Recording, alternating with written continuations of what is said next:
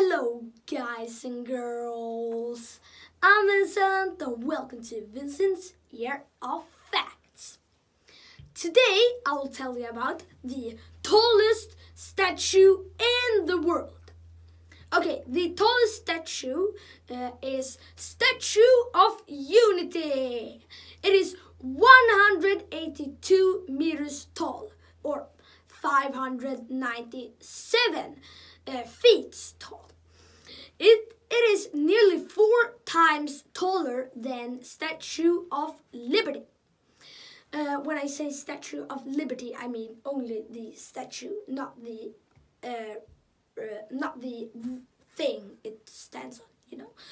Okay, it took four years to build the sta Statue of Unity.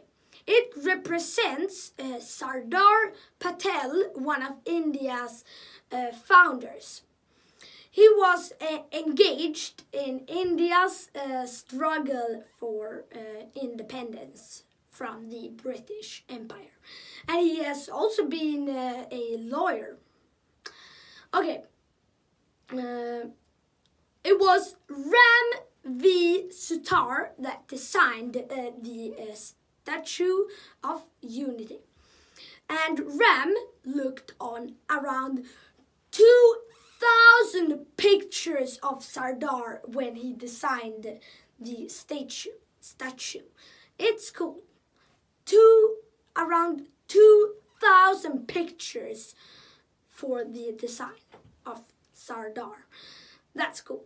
Okay, and when they built a Statue of Unity, they used two 25,000 ton steel and around 135 ton iron and it's covered by 12,000 bronze plates.